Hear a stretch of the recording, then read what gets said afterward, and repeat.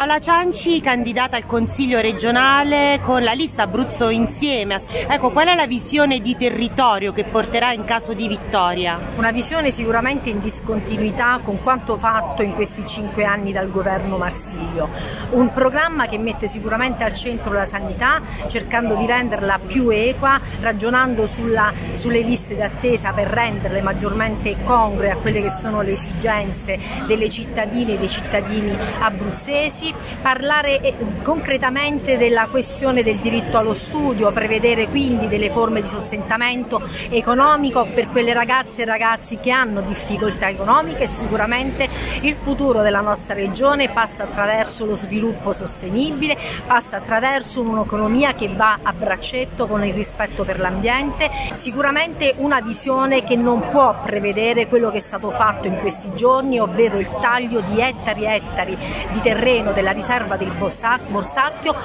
un ritorno ad un momento storico in cui le aree protette venivano viste come un limite e non un valore aggiunto. Quindi noi lavoreremo, la nostra proposta è questa, la lavoreremo in questo senso e sono convinta che portando avanti questi temi ai quali si aggiungeranno quelli che in queste settimane Luciano D'Amico sta portando avanti e sta condividendo con i territori, noi riusciremo a mandare a casa questo governo regionale, a mandare a casa il centrodestra e a ridare alla nostra regione una speranza.